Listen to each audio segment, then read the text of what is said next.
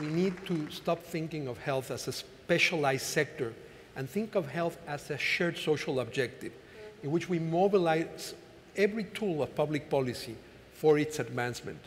Both the Dean and Ted Turner redefined public health. That is, uh, their point of view is that health is affected by economies, people's living, how governments work, international institutions.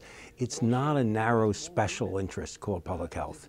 But uh, Ted, you said something that I think is very important. Uh, this is voluntary. And then the question is, what motivates people to control their fertility? And the one a lot observation, of things. education of women, education, uh, uh, employment opportunities, and the reduction of infant mortality.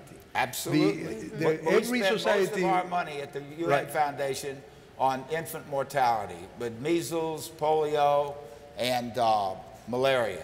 And, and we've made tremendous strides. And we happen to have in the audience the Minister of Health for Rwanda.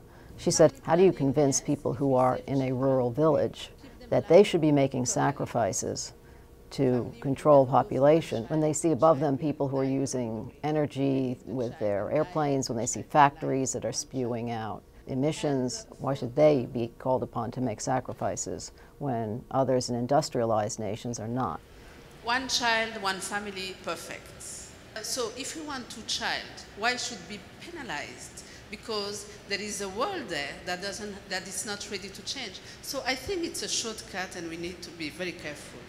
I think it showed what we're trying to accomplish with the forum, which is to have more of a discussion and conversation among experts and people in the audience and people uh, sending questions from the online audience. That this is not a set of speeches. This is really an active conversation.